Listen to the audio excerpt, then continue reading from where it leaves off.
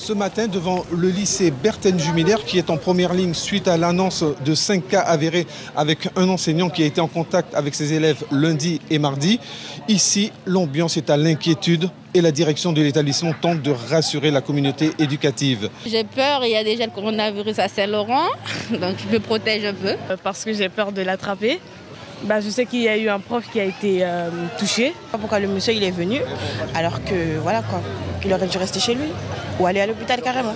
Justement, je vais chez mon médecin. Là, ça fait un mois que j'ai des problèmes respiratoires et je prends pas de risque là puisqu'il y a des élèves avec lesquels euh, voilà, j'ai travaillé lundi et qui étaient au contact de la personne euh, évoquée. Voilà. Évoquée. Voilà.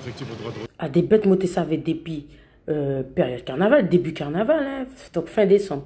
À des bêtes, certains montées ça avait. Autres même mettez les médias en ça pour dire comme quoi qu'il faut pas écouter tout ce qui se dit sur les réseaux sociaux. Mais tellement de telle façon, je pas qu'à dire nous rien. À les réseaux sociaux qui apprendre nous, mais faut pas nous affoler nous quoi. Alors est-ce que c'était une volonté de ne pas vouloir nous affoler? Alors que je t'ai au courant que ces mounta, à ces mêmes noms de mounia, m'ont dit, remonter vers décembre, janvier, je qui garde des mots directs, et mon sur ça a changé, qui m'a dit, faut arrêter, prends-nous pour des moins que rien.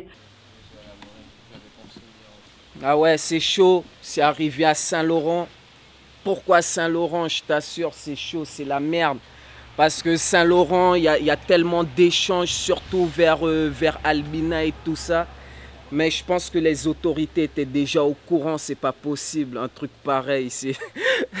Putain, en plus, c'est c'est au lycée de mon petit frère. Donc, euh, lui, il est en quarantaine en ce moment. Daniel Daniel Ah ouais, c'est chaud. Peut-être euh, vous allez voir euh, mes activités baisser au niveau de la page SLM Ghetto Live. Je sais pas, peut-être même...